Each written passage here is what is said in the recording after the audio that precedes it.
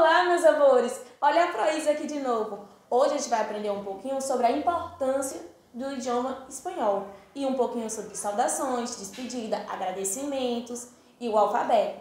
Vem com a Pro, que a Pro vai dizer o porquê é tão importante aprender o espanhol ou a importância de aprender o idioma espanhol, né? Vamos lá. Cada vez mais fica crucial ter uma língua estrangeira. Por quê, Pro? A língua estrangeira em nosso currículo ajuda muito no mercado de trabalho, meus amores, tá? Tanto o inglês quanto o espanhol. Mas a Pro vai falar mais um pouquinho sobre o espanhol. Por quê, né? Sou suspeita. Mas quem consegue entender esse amor que a Pro tem para a língua espanhola vai mergulhar na cultura hispânica com ela, tá? Então vem com a Pro. Pro, mas eu gosto espanhol, mas eu não consigo pronunciar palavras. Eu não sei escrever algumas palavras, Pro. Como é que eu faço para melhorar isso? A Pro vai dar três diquinhas básicas que ela mesma teve que aprender, tá, gente? Eu escutava muita música, eu via muitos filmes, muitas séries, eu colocava legendas de filme em espanhol quando não tinha áudio em espanhol. Eu jogava muitos jogos em espanhol. Ou para a gente ficar um pouquinho mais na aula espanhol, escutava música, ve películas, serie, programa de televisão, juego de repasso de espanhol, tá? E depois disso tudo, Pro, mas e o espanhol? O que tem o espanhol de tão diferente dos outros idiomas? A Pro vai falar algumas curiosidades sobre o espanhol, tá? A primeira é que é o segundo idioma nativo mais falado do mundo, gente. Hum, respeita, tá? E o idioma oficial de 21 países, tá? Todos os países que fazem fronteira com o Brasil falam espanhol como língua oficial é o segundo idioma internacional, especialmente no comércio. E o terceiro na política, na economia e na cultura, meus amores, tá? E sem falar que a gente também temos nosso Mercosul. Ah, Pro, o que é Mercosul? Mercosul ele é um bloco de economia sul-americano formado pelo Brasil, Argentina, Uruguai, Paraguai, entre outros associados e observadores. Aí a Pro vai fazer um questionamento para vocês. Eu quero que vocês pensem nisso, que na próxima aula a Pro vai conversar com vocês a respeito dessas quatro perguntinhas, tá? Quais seriam? Qual é a importância para nós outros em Brasil estudar o idioma espanhol? Ou seja, qual a importância para a gente estudar espanhol no Brasil? Se a gente fala português, Pro. De onde podemos usar ou encontrar o idioma espanhol? Aonde podemos usar e encontrar o idioma? Em um mundo globalizado, de onde usamos o espanhol menudo, de onde usamos o idioma em nossa vida diária.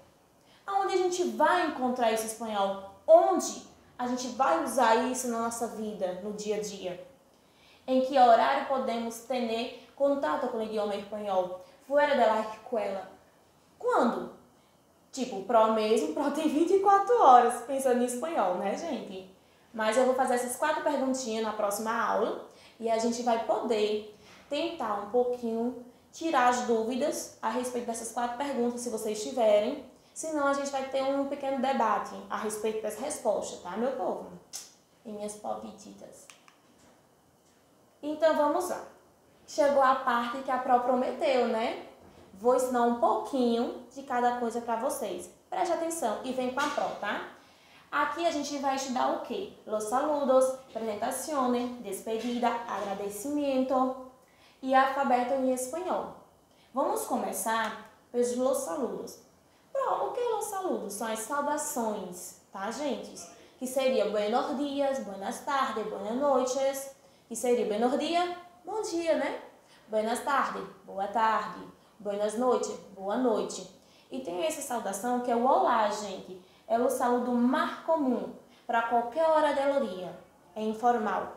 Se vocês encontram uma pessoa na rua, vocês não vão chegar e dizer: Ei, tudo bom? Oi. Não. Em qualquer hora vai chegar para a pessoa e falar: Olá, que tal? Que seria: Olá, tudo bem? E os saludos, que são as saudações, né, gente? Tem olá, buenos dias, buenas tardes, Buenas noches. Hola, ¿qué tal? Como está? Estou bem, graças. Estupendo, fabuloso. Regular, mal. Estou bem. E tu? Que contas? Me gusta belo. Que seria basicamente o quê? Olá, olá. Buenos dias, bom dia. Buenas tardes, tarde, como a Bro já falou. Buenas noites, noite. Olá, que tal? É, oi, como está? Como está? É, como você está? Estou bem, graças. Estou bem. Obrigada ou obrigada. Estupendo, fabuloso, ótimo. Regular e mal, mais ou menos, ou mal. Estou bem, e tu? Estou bem. E você?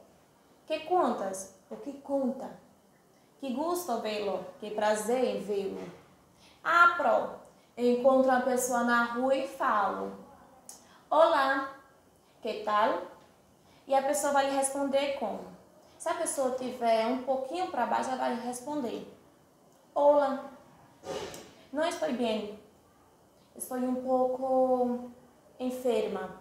Isso significa que a pessoa não está bem e está doente. Enferma é doente, tá, gente? Vamos para apresentações, que seria apresentações, que foi exatamente o que a Pro estava começando a falar aqui. Que é que a gente vai saber como perguntar como se chama, o nome, o sobrenome. A Pro vai dizer uma palavrinha que eu acho que poucas pessoas sabem o que significa. Vocês sabem o que significa apelido?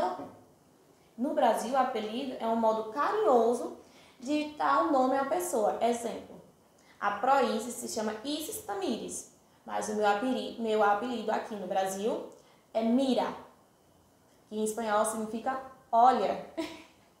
então vamos lá. Como te chama? Que é como você se chama. Qual é seu nome? Qual é seu nome? Qual é seu apelido? Apelido em espanhol é sobrenome, tá, gente? Me llamo Isis. Mi nombre es Isis. Mi apelido, Fernandes. Mi apoio es, que é a mesma coisa de apelido, tá, meus amores? Encantada em conhecer-te. Muito gosto, que quer dizer prazer em conhecê-los. Aí vem a parte da despedida e do agradecimento. Despedida basicamente são essas. Adiós, hasta amanhã, hasta la vista, Hasta luego, fui un paseo, recuerdo, que lo pase bien, chao, muitas gracias, que adiós significa adeus, tá gente? Hasta lá amanhã, até amanhã, hasta la vista, até a próxima. Hasta luego, até logo. Fui um prazer, foi um prazer. Recuerdo, que é lembranças. E que lo passa bem, passe bem. E tchau, é tchau, tá meu amor? E muitas graças seria muito obrigada. E de nada é de nada mesmo, tá? Vem a partir do alfabeto, meus amores, que no final de 2010, o RAI, que é a Real Academia Espanhola, junto com o representante da Espanha, dos países hispânicos, decidiram que o alfabeto, ele antes só tinha 27 letras, agora eles têm 29, porque ganharam dois dígrafos que são o lhe e o che, tá? Vem aqui com a Pro, que a Pro vai pronunciar com vocês o alfabeto, tá? A, B, C, D, E, F, ó a língua, Z, H, o H é H, I, J, o J tem som de R, J, K, L, N, N, N, porque no espanhol a gente tem um N com acentinho, tá, gente? O tio em cima, que é N. O, P, Q, Q, o Q é o Q. R, S, T, U, Uble, que é o V. Doble Uble, que é o W, tá, meus amores? ESC, que é o X. Y e Z. E tem o CH, que é o T. E o LL, que é ED, tá, meus amores? E atenção, tá? Vamos, vou dar uma pequena alertinha aí para vocês, tá? Os nomes das letrinhas alfabeto, do alfabeto são femininos, ou seja, vocês nunca vão falar L A, é La A, La B, La C, La D, tá? Letra W, que seria o quê? O W, usa-se somente com palavras de origem estrangeira. Exemplo, whisky, Walter. As letras específicas do espanhol são che, eche e n. Exemplo, hacha, chuva e ninho. No espanhol existe dois dígrafos, que foi o que a Pro falou, né? Que é o che e o eche.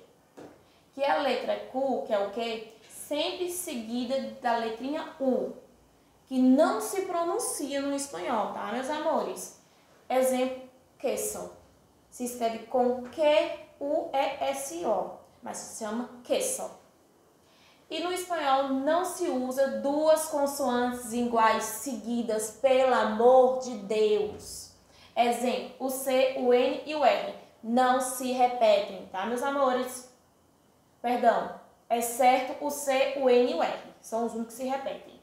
Exemplo, construzione, innegable, ferrari, tá? E los dez mandamentos de espanhol. Que seria o quê? Não se usa SS e sim S. Com a palavra em, português é esse, é, S, S, E. Em espanhol vai ficar S só que escrito apenas com um único S, tá, meus amores? Não se usa LH, mas sim LL. Toda palavra que for escrita com LH em português, quase todas, tá? São escritas com LL. Exemplo, batalha, é... muralha, são escritos com dois L, não com LH. Não usa-se NH e sim N como pequeno, ninho, dinheiro, tudo com N, tá? Não se usa M ao final das palavras, mas sim N. Também como estava, viajava, jovem, tá? Deixa eu ver outra aqui que é muito importante vocês saberem. Não se usa o R seguido de V. Exemplo, libro, palavra, libre, libreiro, laborio, tá? Não se separa LL e RR das palavras, tá, meus amores? Como carro, que também pode ser chamado de coche, depende de onde você esteja, ou autobus. Calho, tá? Não se separa. E não usamos zeta com E, nem com I. E sim CE, CI. Exemplo, aceite, aceitun, Pense, introdução, compreende? E aqui a gente tem um pequeno exercício, tá, gente? Que será o quê? Complete as palavras de acordo com os 10 mandamentos que foi dito, certo? Aqui a gente vai ver nos 10 mandamentos, são palavrinhas fáceis. E vocês vão completar as letrinhas que estejam faltando, tá? Aí a prova vai corrigir na próxima aula, tá, meus amores? E é isso. Tem um exercício da página 14 a 15. Muitas graças. Besitos.